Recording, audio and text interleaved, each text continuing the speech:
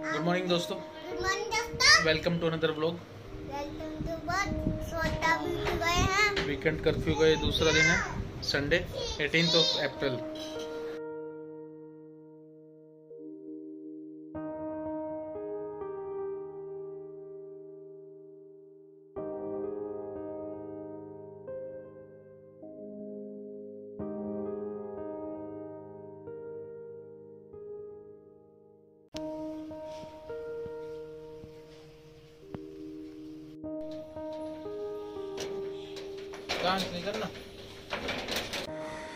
खाना तो बना नहीं।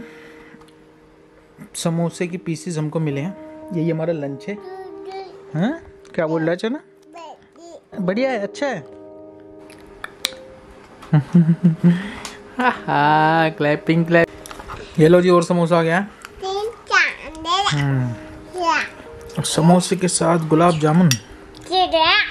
ये सोना की तो मौज होगी भी। मौज मज़े आ गए। कैसे मज़ा आए सोना? क्लैपिंग करके बताएगा सोना। हाँ फ़ोन आ गया? हम्म, फ़ोन देखते हैं अभी। टाइम हुआ है तीन बजकर पंद्रह मिनट दोपहर के। सब लोग सो रखे हैं। Everybody is sleeping in the house मैं किसी काम में लगा हुआ था इस वजह से अभी तक सोया नहीं आज अभी तक नहाए भी नहीं है। शाम को नहाएँगे, शाम को नहाने का भी एक अलग ही मज़ा होता है, रात को अच्छी नींद आती है तो मैं सोचता हूँ एक घंटे भी मैं भी सो जाता हूँ। दोस्तों, नींद का भी एक क्लियर सा सिंपल सा फंडा है। जब आप सो सकते हो, जब आप किसी कंफर्टेबल माहौल में हो बेड है फ़ैन चल रहा है एसी भी चला सकते हो, तब आपको नींद नहीं आएगी। नहीं सो सकते हैं जब कहीं तनाव में हो, तब नींद इतनी आएगी। क्या करें? अब नींद नहीं आ रही। है तो सोचा चलो कुछ काम ही निपटा लेते हैं। सो जी टाइम हो गया है ऑलमोस्ट छः बज चुके हैं। और ये देखिए, इतना सारा कबाड़ा हमने निकाला है, जिसको हम बेच के बहुत सारा पैसा कमाने वाले हैं। और छत की हालत कुछ ख़राब हो चुकी है। इसको अब धोना पड़ेगा, जिसके लिए हम वेट करेंगे शाम को पानी आने का, क्योंकि तो पानी की शॉर्टेज है अभी।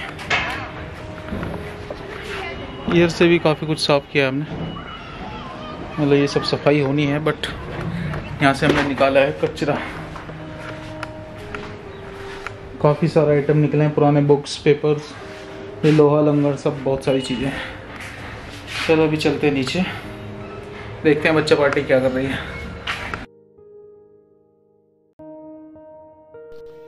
देवी मैया का भोग लग चुका है? या देवी। मैया खुश है काफ़ी?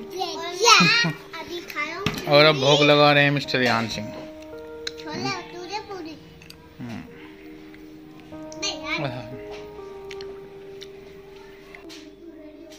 मिश्री खा रहा है सोना।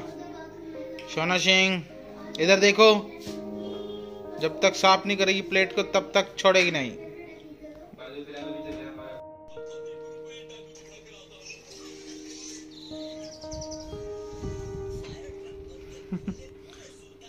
देखो तू ही छाट ले तू भी छाट ले एक। छाट करो। ले। अरे एक मिनट हेलमेट तो। उतार तो मैंगो शेक तो पी लिया काफ़ी मस्त था। बिल्ली बिल्ली बन गई बिल्ली। बिल्ली। सोना अच्छे स्टाइल में चाय पीना सीख गई आज। और डालू। अपना दुख इंसान एक बार को झेल लेता है जैसे तैसे संभाल लेता है अपने आप को।